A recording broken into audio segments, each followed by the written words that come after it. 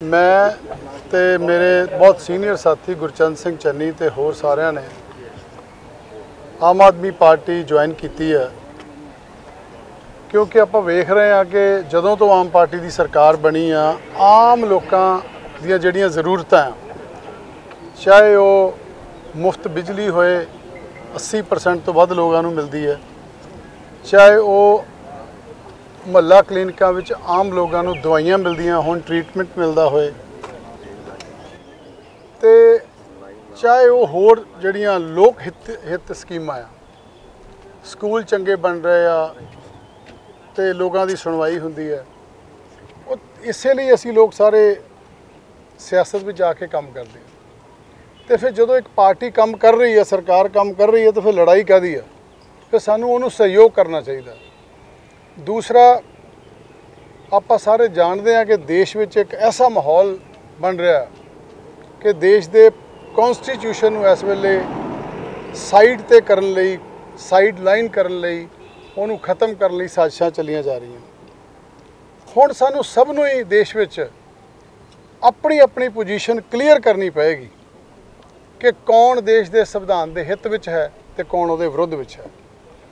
Aam Aadmi party ਨੇ ਸਪਸ਼ਟ ਤੌਰ ਤੇ ਇਹ ਸਾਬਤ ਕਰ ਦਿੱਤਾ ਹੈ ਕਿ ਉਹ ਦੇਸ਼ ਵਾਸੀਆਂ ਦੇ ਹਿੱਤ ਵਿੱਚ ਹੈ, ਗਰੀਬਾਂ ਦੇ ਹਿੱਤ ਵਿੱਚ ਹੈ ਤੇ ਕਈਆਂ ਪਾਰਟੀਆਂ ਨੇ ਹੱਲੇ, ਕਈਆਂ ਪਾਰਟੀਆਂ ਨੂੰ ਕਲੈਰਿਟੀ ਹੈ ਨਹੀਂ ਵੀ ਉਹ ਕਿੱਥੇ ਸਟੈਂਡ ਕਰਦੇ ਇਸ ਕਰਕੇ ਅਸੀਂ ਸਾਰਿਆਂ ਨੇ ਅੱਜ ਸਰਦਾਰ ਭਗਵੰਤ ਸਿੰਘ ਮਾਨ ਜੀ ਨੂੰ ਮੁਲਾਕਾਤ ਕਰਕੇ ਉਹਨਾਂ ਦੀ ਅਗਵਾਈ 'ਚ ਅਸੀਂ ਆਮ ਆਦਮੀ ਪਾਰਟੀ ਜੁਆਇਨ ਕੀਤੀ ਹੈ।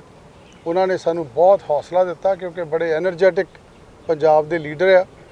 ਉਹਨਾਂ ਦਾ ਬਹੁਤ ਵਿਜ਼ਨ ਆ ਤੇ ਸਿੰਪਲ ਆ, ਆਮ ਆ, ਇੱਕ ਆਮ ਸੜਕ ਤੇ ਜਾਂਦਾ ਸੀਐਮ ਸਾਹਿਬ ਦਾ ਕਾਫਲਾ, ਉਹਨੂੰ ਇੱਕ ਔਰਤ ਨਰੇਗਾ ਦੀ ਦਾਤੀ ਖੜੀ ਕਰਕੇ ਰੋਕ ਸਕਦੀ ਆ। ਐਸਾ ਕਦੀ ਮੁੱਖ ਮੰਤਰੀ ਪੰਜਾਬ 'ਚ ਹੋਇਆ ਸੀ? ਨਹੀਂ। ਆਮ ਬੰਦਾ ਉਹਨਾਂ ਨੂੰ ਰੋਕ ਸਕਦਾ। ਬਹੁਤ ਸਾਰੇ ਉਹਨਾਂ ਦੇ ਕੰਮ ਆ ਜਿਹੜੇ ਦੱਸੇ ਜਾ ਸਕਦੇ ਆ। ਤੇ ਮੈਂ ਉਹਨਾਂ ਦਾ ਬਹੁਤ ਬਹੁਤ ਧੰਨਵਾਦ ਕਰਦਾ। ਮਾਨਯੋਗ ਅਰਵਿੰਦ ਕੇਜਰੀਵਾਲ ਸਾਹਿਬ ਦਾ ਮਾਨਯੋਗ ਸੰਦੀਪ ਪਾਠਕ ਜੀ ਦਾ ਸਾਰੀ ਪਾਰਟੀ ਦਾ ਬਹੁਤ ਬਹੁਤ ਧੰਨਵਾਦ। ਅੱਛਾ ਜਲੰਧਰ ਤੋਂ ਚੋਣ ਲੜ ਰਹੇ ਹੋ ਜੀ? ਕੋਈ ਗੱਲਬਾਤ ਹੋਈ ਹੈ ਇਲੈਕਸ਼ਨ ਮੈਂ ਬਿਨਾਂ ਕਿਸੇ ਕੰਡੀਸ਼ਨ ਤੋਂ ਸ਼ਾਮਿਲ ਹੋਇਆ। ਮੈਂ ਉਹਨਾਂ ਨੂੰ ਪਹਿਲਾਂ ਜਾਂਦੇ ਹੀ ਇਹ ਗੱਲ ਕਹੀ ਹੈ ਕਿ ਸਾਡੀ ਕੋਈ ਕੰਡੀਸ਼ਨ ਨਹੀਂ ਕੋਈ ਸ਼ਰਤ ਨਹੀਂ। ਤੁਸੀਂ ਵੀ ਸੇਵਾ ਕਰਦੇ ਹੋ ਅਸੀਂ ਵੀ ਸੇਵਾ ਕਰਨੀ ਹੈ ਜਿੰਨਾ ਹੋ ਸਕਦਾ ਸਾਡਾ ਸਹਿਯੋਗ ਲਓ ਅਸੀਂ ਸਹਿਯੋਗ ਕਰਾਂਗੇ।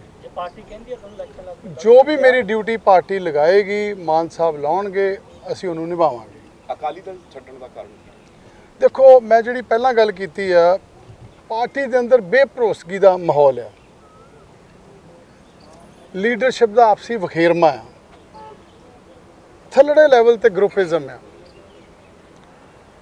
ਕੋਈ ਕੋਸ਼ਿਸ਼ ਨਹੀਂ ਹੋ ਰਹੀ। ਵਰਕਰਾਂ ਦੇ ਹੌਸਲੇ ਗਿਰੇ ਹੋਏ ਆ। ਲੀਡਰ ਵੀ ਸੋਚਦੇ ਆ ਵੀ ਕੀ ਹੋਊਗਾ। ਕਦੀ ਸੋਚਦੇ ਆ 22 ਚ ਕੀ ਹੋਊਗਾ 22 ਤੋਂ ਬਾਅਦ 24 ਚ ਕੀ ਹੋਏਗਾ 24 ਤੋਂ ਬਾਅਦ ਫਿਰ 27 ਚ ਕੀ ਹੋਏਗਾ। ਕੌਨਫੀਡੈਂਸ ਲੈਵਲ ਬਹੁਤ ਡਾਊਨ ਆ।